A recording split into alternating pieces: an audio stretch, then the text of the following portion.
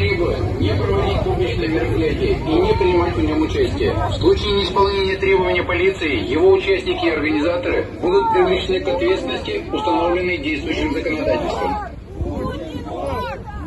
Уважаемые граждане, внимание! Проведение публичного мероприятия не согласовано установленным законом.